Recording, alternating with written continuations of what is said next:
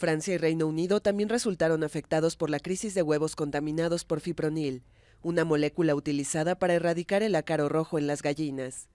Según la Autoridad de Seguridad Alimenticia británica, el número de huevos es muy limitado y el riesgo para la salud pública es muy débil. El escándalo inició la semana pasada al detectar huevos provenientes de Holanda que superaban los niveles permitidos de insecticidas según la reglamentación europea.